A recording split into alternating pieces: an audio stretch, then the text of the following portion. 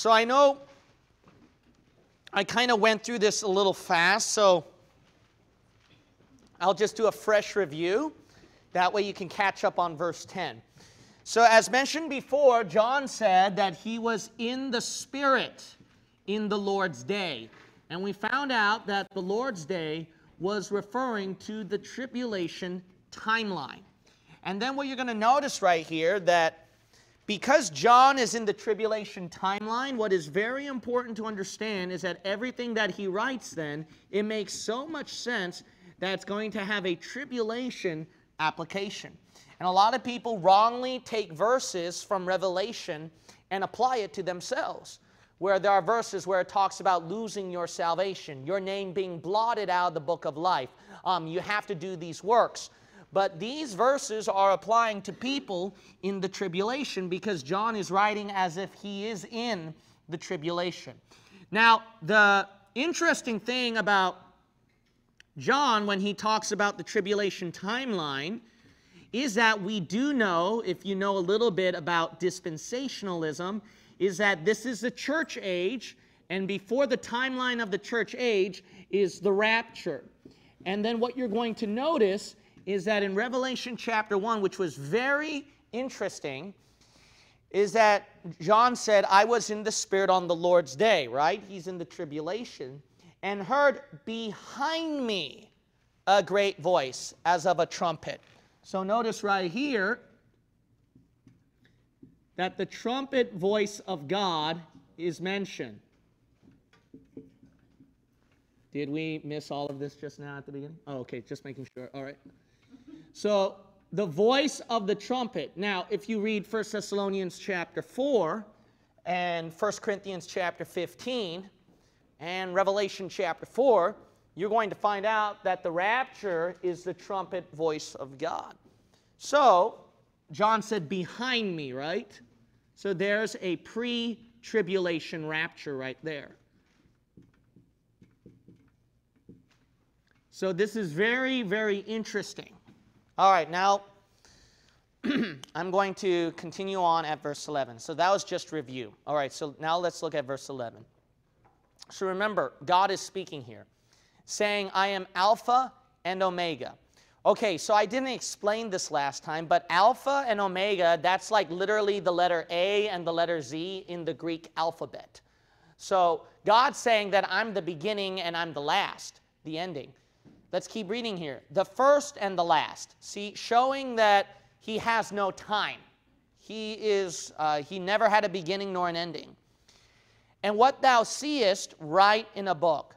So God's telling John whatever he's seeing, he's got to write it in the book and send it unto the seven churches which are in Asia.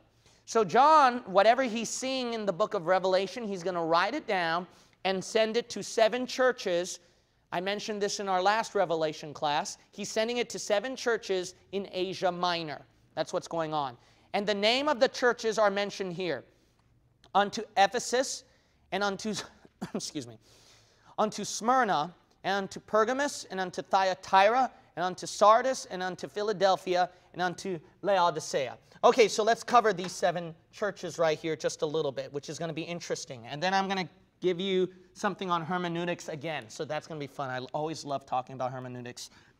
so, in the church age, we see seven churches mentioned here.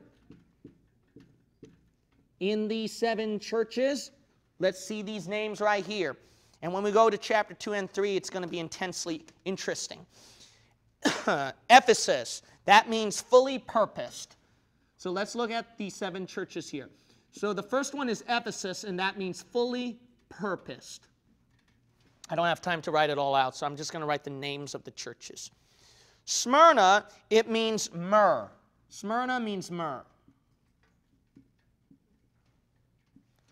The next church is Pergamus, and Pergamus means much marriage.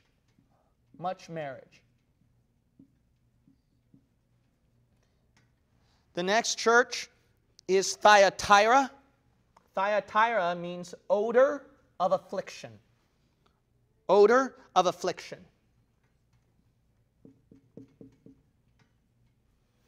The next church is Sardis.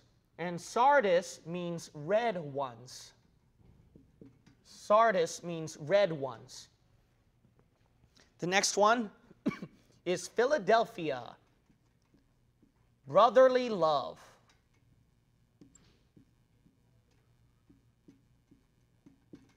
And the last one, which you heard this term quite often from my preaching and other people, Laodicea. And that means civil rights.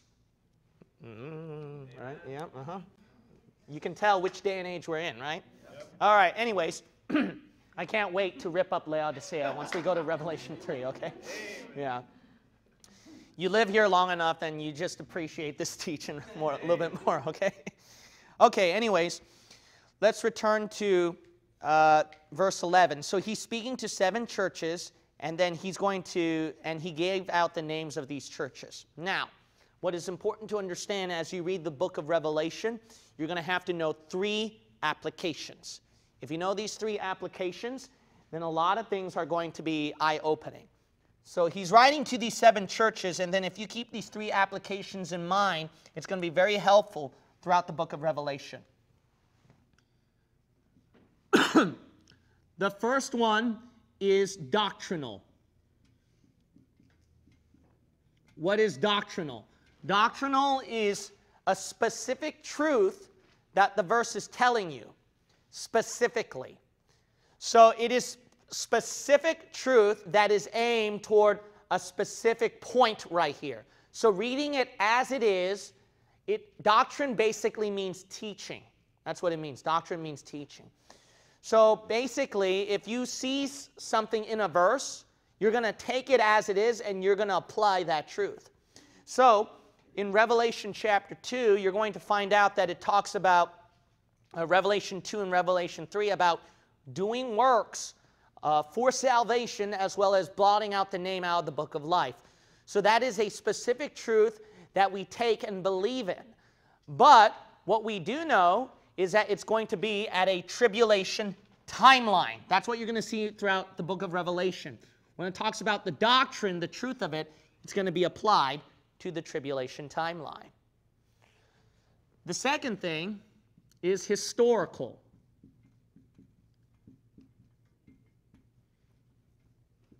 Historical is understanding the history of that timeline. So an, an example is John is writing to the seven churches here. So because you got to know the history of that timeline, John is writing to these seven churches right here. Uh, to these local churches, real areas. So this is real life situation on the history of that time. But you notice how it's differing from doctrine. See that? It's differing a little bit from doctrine here. Let me give you another example. So in the book of Psalms, we're going to look at the book of Psalms. Go to the book of Psalms. I think it's chapter 22. I'm going to show you how the applications are applied. We're going to look at Psalms 22. This is what people don't do. What they automatically do is that they combine the applications all together rather than dividing it. If you don't divide it, then you're going to come across problems. The third one is spiritual spiritual. In other words, you take a verse and then you spiritualize it. You can turn it into a valuable lesson. Uh, for example, when we take a passage about the Jews in the children of Israel who were uh, eating uh, quails, that's right. So they were eating quails at the wilderness. Spiritually, what that represented was that the quails represented flesh, the lust of the flesh. And then the Jews spiritually were representing the church right here. So you'll notice that a great easy example, an easy example is your pastor preaching on Sunday. Now you notice that your pastor sometimes will do history and doctrine, but what's the application he mostly uses in his preaching? Spiritual. Why? Because I'm hitting at a spiritual area you got a problem with, see? So I'm spiritually cutting you. And then as teaching, I go more on doctrine. So that's where the infamous Alexandrian scholars and secular scholars come out today, where they take verses. Uh, majority of cults What do they do with verses in your Bible? They spiritualize it. They always spiritualize it. William Lane Craig, brilliant guy debating atheists, just spiritualizes a passage about uh, the wolf lying down with the lamb and then the young lion with the calf. And then he talks about, he doesn't take it literally as it says. He says some kind of strange conundrum about what happened during Isaiah's timeline and that it just looked like in a picture that you're stretching the imagination there. So this uh, Jehovah Witnesses, they look at Revelation 7 and it mentions 12 tribes of Israel. They can't take it as it says. So they spiritualize it and say, well, that's referring to 144,000 Jehovah Witnesses. Who says that? You don't see that anywhere. So spiritualizing passages is actually pretty dangerous because then you, uh, you leave off the verse. But here's the problem. A lot of group, they're also called mid-acts or hyper-dispensationalists. They go by so much doctrine that they avoid spiritual truths. So for example, Revelation we know is applied to tribulation doctrine. But does that mean we're going to drop the book of Revelation and not get any spiritual lesson out of it? See? So that's dangerous. Mid-acts hyper dispensationalists, they are a dead group. Yeah. You know why they're dead? Because it's not aiming for a spiritual area. It's all doctrine, doctrine, doctrine. I thought we're all for right doctrine. If you are for really for right doctrine, you're going to aim for something spiritual too, fella. That's what you got to keep in mind. now, Psalms 22, let's see how these three applications work. Now, that's going to be helpful in the book of Revelation.